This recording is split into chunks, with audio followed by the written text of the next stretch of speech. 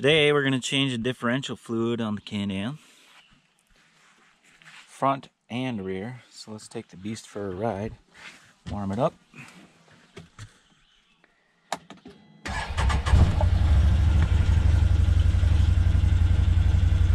Probably throw it four-wheel drive here. Let's see what we got. 1,000 miles.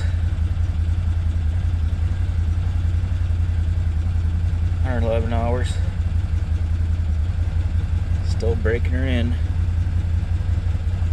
Alright, let's take her for a ride.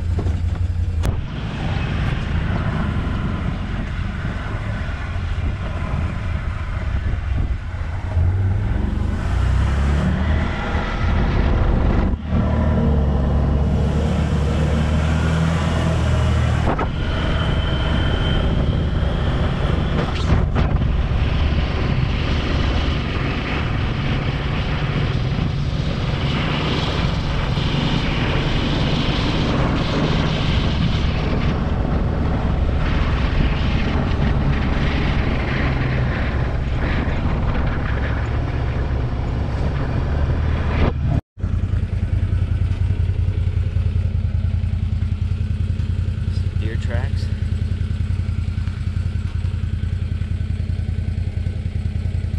I lived up here in the woods for seven years and I've seen less than a dozen deer.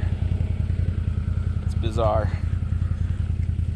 With the two bad winters that we had, all the logging that goes on up here, all the wolves that we have, it's completely decimated the deer population in northern Minnesota. DNR even reduced the number of deer you can take. Back when I used to bow hunt and rifle hunt in the fall, you could take five deer up here in northern Minnesota. Now I think you're only allowed two. You have to shoot a buck first, and then you can shoot a doe. I don't even hunt anymore because it's not worth my time because there's no deer.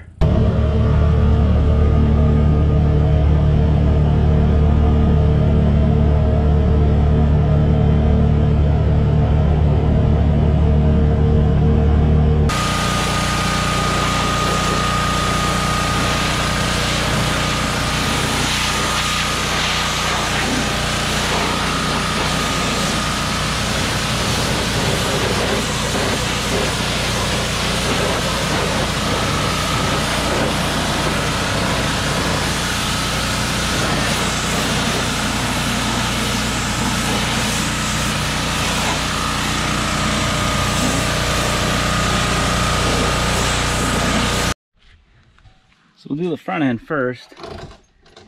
There's no drain plug for the front differential, only a fill plug. So what I'm gonna have to do is I'll take out that fill plug and then pump it out of there with a tool, pump that I have, as much as I can get out of there, and then come on.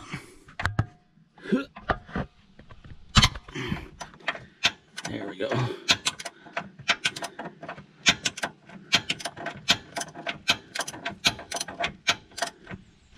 Little finagling. Get at it.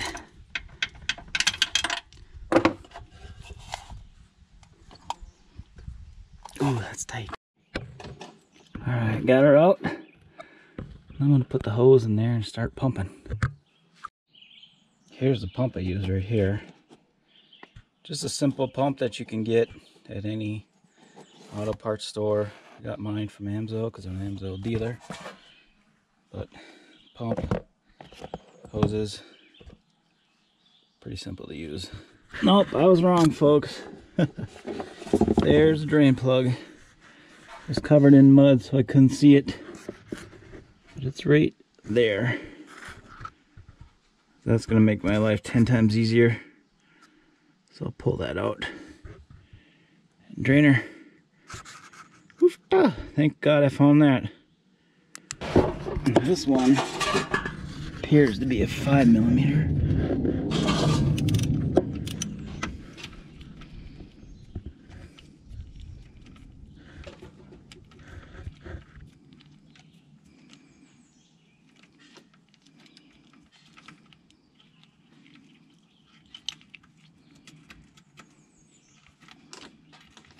There we go.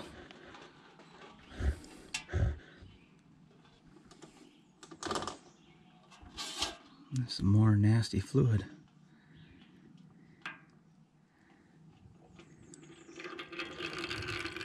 Not much in there. This is four tenths of a quart is the capacity, so that's not a whole lot. I'll let this drain put the plug back in and then we'll fill it up. All right, so we got the torque wrench set at 24 foot-pounds. And we'll put her back in.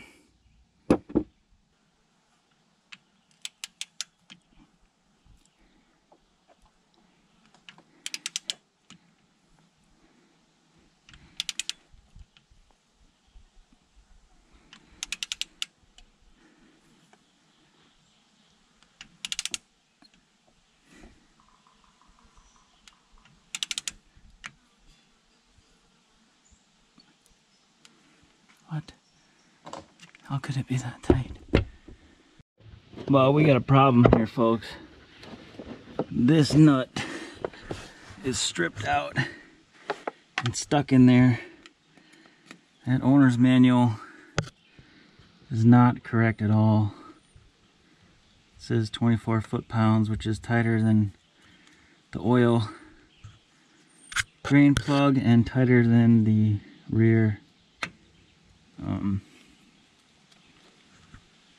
the rear gearbox. And this is a tiny little nut.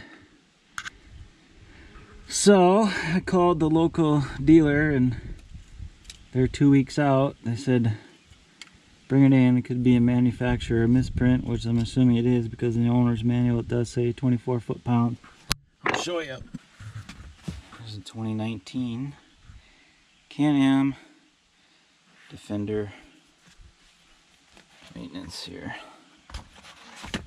Here we go.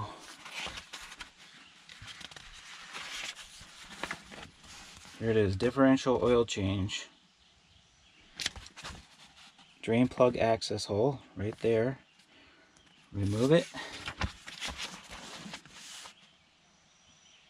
And install the drain plug. 24 foot-pounds. And that right there totally stripped it out. So I'm going to have to bring it in so they can tap it out or replace that front differential. It's got a two year warranty on it, so hopefully we get this figured out. Sorry about that, but that's all we can do. Okay, lesson learned the hard way, folks. I put some oil in there. They recommended me put some in there so that I could get it on the trailer and bring it into the shop. I was, I was able to get the uh, the bolt out again and take a look up in there. So the bolt itself is fine.